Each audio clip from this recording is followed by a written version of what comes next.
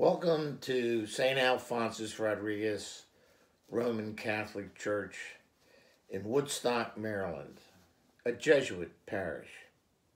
Today's reading is from Matthew chapter 12, verse 1 through 8. Matthew chapter 12, 1 through 8.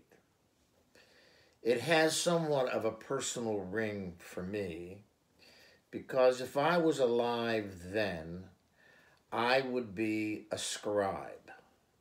Today, we call them attorneys. And as I always say, uh, it happens in the best of families, and my mom and dad loved me. Jesus, throughout the Gospels, endlessly chides on being kind the scribes and understandably so. And in this particular passage, we're talking about the issue of violating the laws as articulated by Pharisees, scribes, Sanhedrin, or Hedron, however you want to pronounce it, back in those days. And Jesus' disciples were picking grain because they were hungry and eating it on the Sabbath. And let us go back a little bit where Jesus said some time ago, render unto Caesar the things that are Caesar, and to me, the things that are relevant to the kingdom of God. What is the message for us today? And it really is a critically important message.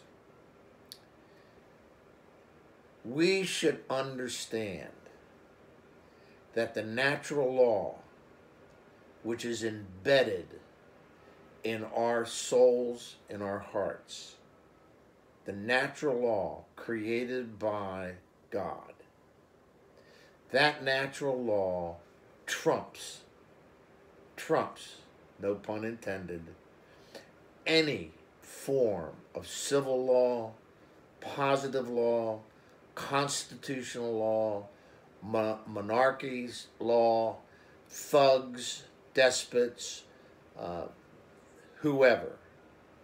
And we as Christians understand that Jesus is the Lord and he trumps the laws of Caesar.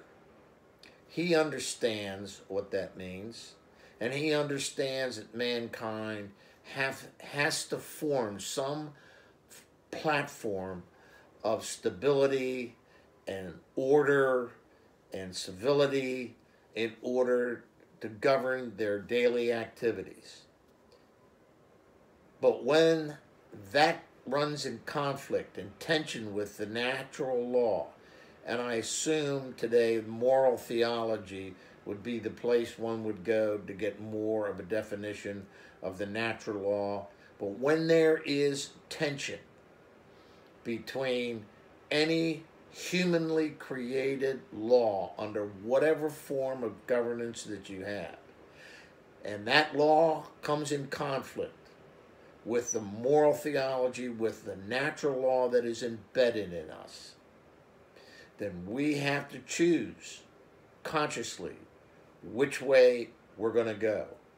And sometimes that can be very, very painful, and sometimes that can be very, very courageous, and you will suffer because you're doing it in the name of Jesus.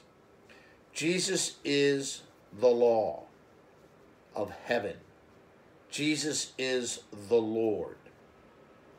At the same time, Jesus recommends mercy for those that violate not only the moral law, the natural law, but also the civil law. To forgive is one thing, and as we all know, to forget is hard. But to forgive, we can do. It's a liberating psychological, emotional act on our part to forgive. We move on. We move on. The next step from that is mercy. Are we willing to take the next step? Forgiveness is one thing, but are we willing to take the next step and be merciful to the person who has done harm or damage to us? And, and go forward on that basis. Very important lesson for us, particularly in today's world of secularism, relativism, nihilism, materialism, positive law, etc. Very, very, very important. Our Father, who art in heaven, hallowed be thy name. Thy kingdom come, thy will be done, on earth as it is in heaven. Give us this day our daily bread, and forgive us our trespasses, as we forgive those who trespass against us. And lead us not into temptation, but deliver us from evil. Amen.